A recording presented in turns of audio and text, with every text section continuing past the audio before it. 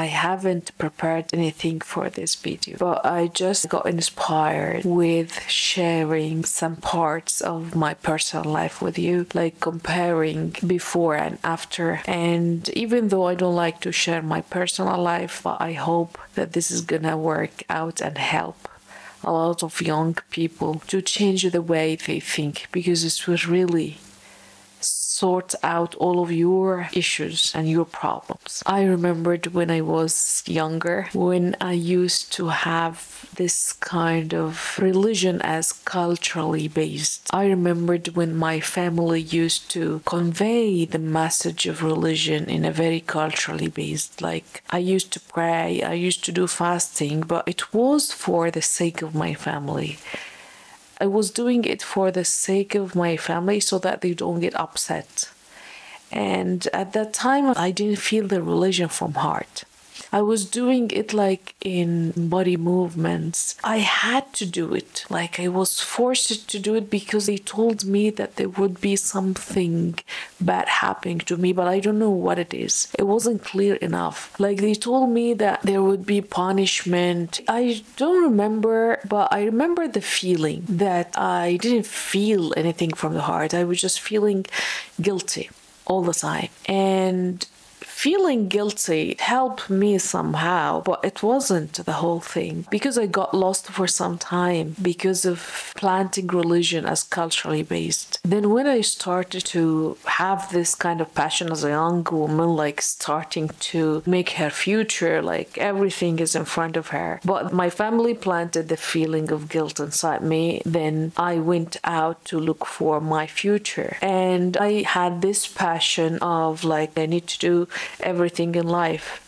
Like, I need to achieve my dreams, I need to do my master degree, my PhD. I want to work in the best place ever. I want to get the best car. I just lived the dreams as a young woman and I wanted to achieve them. And I had that kind of feeling guilty all the time. So I had to pray. I didn't skip praying. I had to pray because of the feeling of guilt. So even if I got late at work outside, I had to get back home to combine two prayers so that I don't sleep like that because I had in the background in my subconscious that my family told me that something bad would happen to me, but I don't remember what it is. So the subconscious feeling guilty. So I used to feel guilty. That's why I had to pray. But the heart wasn't feeling it. And because I am self observant, I really can observe myself very well. I struggled a lot in life at that time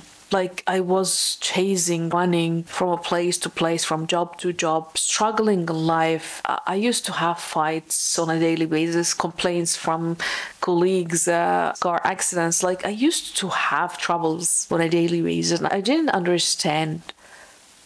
Like I thought at that time that it's the norm of life to live like that. This is the life. They told me that life is full of tests. So I used to adjust with that life, but it was so hectic. My life was so messed up really as if you're like running in the street all the day and you get nothing in the end. And it was very bad until a voice came from my brother telling me that it might be your fault. And then then the voice came into my brain like from the first time i tried to ignore it and push it away. And then he told me again that it's your fault. It might be your fault. What is happening to you it's your fault. Then i started to think think about it. And by the way, the brain takes so many times to start to be convinced with this. It's not being processed from the first time. It took very long time to me to observe. And he advised me with some pieces like of advice to do some kind of worship by heart, like trying to do night prayer, trying to read Quran for the intention of fixing your issues. And I started doing this. I did it at that time consistently for one week and I had to isolate myself from everyone outside and I started to do this on a daily basis, night prayer, and I had miracles. I felt them like I had dreams that came to me in messages of warning to try to remove uh, this card from the bank. You had a card that you forgot and I really like forgot the card. Like I, I used to get messages of like cleaning to clean my way. And I didn't realize at that time what was that I remember very well that everything that came to me was to fix my issues around, and I didn't understand what the issues were. Like, I didn't ask specifically about a certain issue, but I just got these dreams to fix my issues. And at that time, I felt there's something here, there's something that's big, very big. And since that time, I started to be committed, very committed by heart, and I started to increase the worship. And when you increase the acts of worship, you start loving Allah. And loving Allah by heart is different when you do it in a culturally based it's completely different so when i started loving allah subhanahu wa ta'ala like I started to understand what he was doing with me. I started to understand that he was doing everything to help me. I started to understand that he was just trying to pull me to him. He tried to tell me, no, don't go this way. So he messed it up for me so that I tried to turn back to him. He was just trying to pull me because he knows that the hereafter is better than this life. So he was trying to pull me. And at the same time, he's promising to make you live peacefully without running without chasing. So when I started to understand this, I started to love Allah subhanahu wa ta'ala that He is doing everything for my sake. So this is how love is created between you and Allah subhanahu wa ta'ala.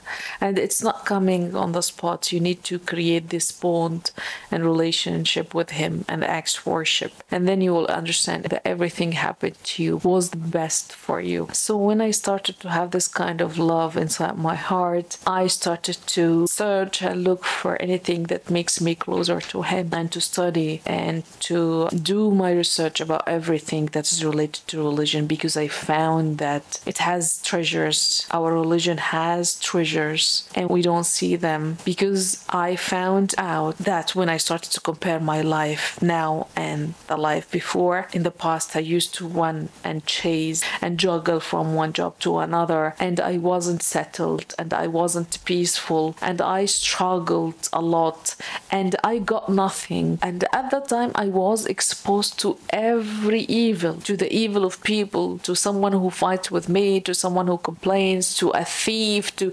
anything. I was exposed to the evil of the people, to everything. It was expected because I wasn't protected enough. But when I compare it with my life now, I am very protected, alhamdulillah.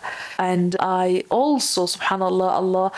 Allah subhanahu wa ta'ala is putting me in this kind of peaceful environment and with little effort, very little effort I make, He gives me the money I need. And He can make you relaxed and enjoy your life in a peaceful and do your acts of worship without running, without chasing. If you believe in Him, and He would send you more than before, and He would send you what you need and more than what you need. So when I compare it now, I find myself very protected and no fights, no struggles, no juggling, no more accidents, alhamdulillah.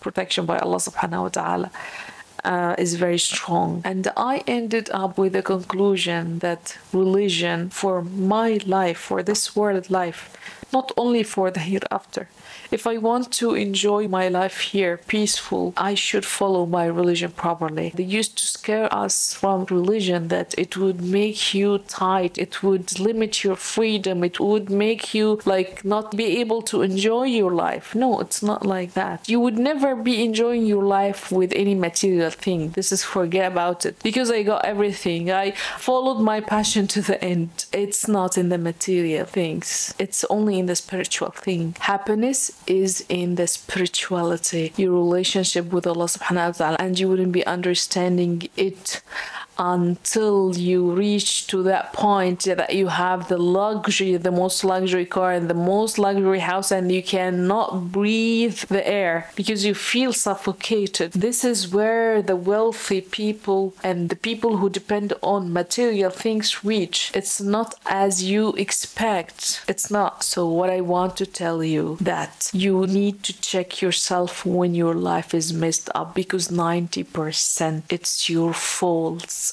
and most of the verses when i did my search and based on my experience and based on the people's experience it shows that it's our fault 90% and don't rely on saying that it's all tests. No we can say that there are tests but for those believers who've reached a very high belief they might be tested with the death of somebody. It's fine it's there. But for you i'm talking about you who is like suffering and struggling from a messed up life you need to fix yourself. And as much as you fix yourself, you would end up with a good life. So it's like you're cleaning what you have done in your life. And by the way, when I say it's my fault, this is including everything my prayer, my commitment, my dhikr, even the gossip, even breaking the promises, even when I take a pen from my colleague and I don't return back. Try to make sure that this is gonna be bounced back again. In anything, you might get bounced back in shortage of money, in a fight with a colleague. So in, in the end, you will be bounced back if you intended to steal a pen. So you need to think this way. I know it's harsh, but it would be better for you to notice and realize what is happening, what you're doing exactly. Watch yourself, watch your words, watch the way you're thinking, watch the words that are coming out of your mouth, watch your commitment. All of these are being reflected into a result. And the result, the good life or the messed up life, because of what you have done. So it's like action and reaction. And I wish I had someone who told me earlier because I made very wrong choices at that time and I wasn't aware. But if I was aware, Allah subhanahu wa ta'ala would have granted me better choices, good people. Because really, when you have this kind of life with Allah subhanahu wa ta'ala, you live peaceful. You have only good people around. You meet only good people. You don't see evil people that much like before. No, it's not there. You're totally protected.